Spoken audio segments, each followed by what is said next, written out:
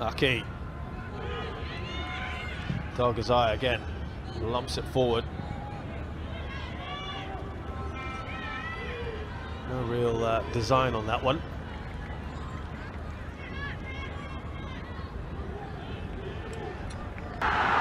From uh, Marzia, but it was again blocked. They put their bodies in the way, Mongolia.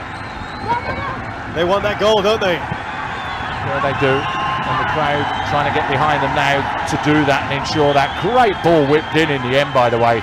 There's the first one. Good block and a good challenge. It'll get clamped down on in the second half. She's had all this uh, being professional, as it's known.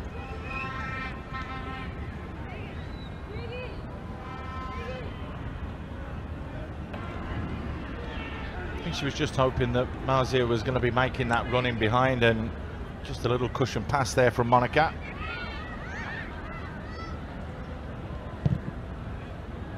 Well, she'd gone the keeper, hadn't she? She'd come, then decided, oh no, I've got to get back. And it just needed that concentration there for Mosh just to get it under control. Took her eye off the ball. See, she just had a look at the keeper. She looked up, didn't she? She knew that the keeper was going to come and then a check back.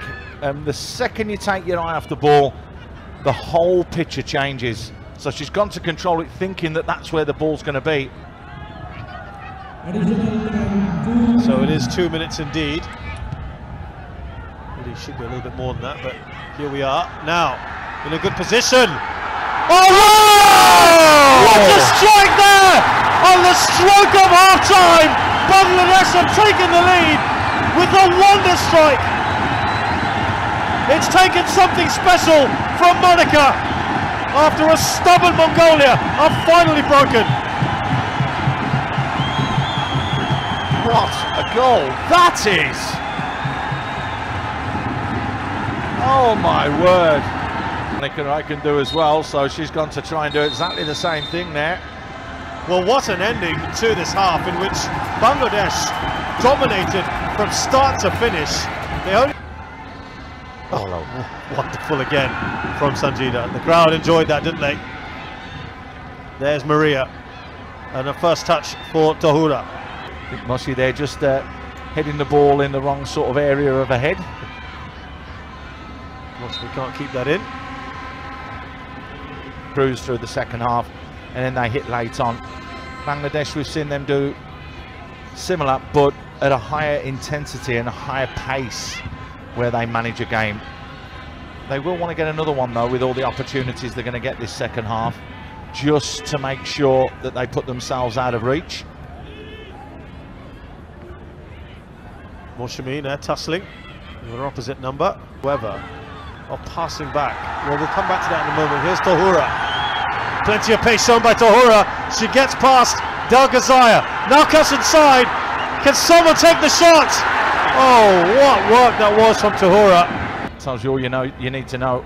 She knows she should have done better on that occasion. Another opportunity, another wasted chance.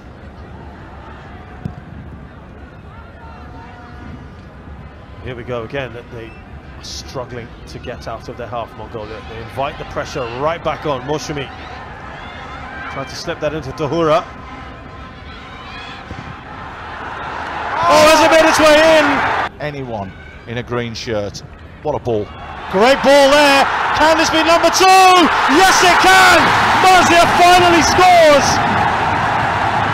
An absolute delight around the bunker. Because they'll run out of steam, the Mongolians.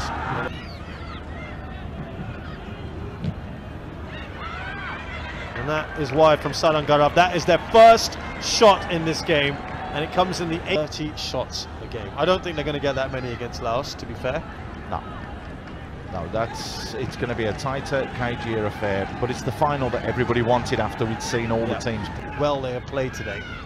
I think it would be immensely unfair if, if this criticism continues, because they have been absolutely superb. And you're right, it's a 90-minute team. No one is better than them. And here is Tohura she could have slipped that through. It doesn't matter. It's bounced over the goalkeeper. And sometimes you need that little bit of luck. And Bangladesh have finally broken the two-goal barrier. And they now make it three. Told you we get another one. They are chasing absolute. I'm you're not. right, I'm not you're joking. right. They can't. They can't get in the ball. They haven't competed. They've just. They've just not even started the game. That's just not. That's not a criticism of them. It's just how good Bangladesh have been. Undra with the header. Moshumi goes up for it. Sensibly looks back.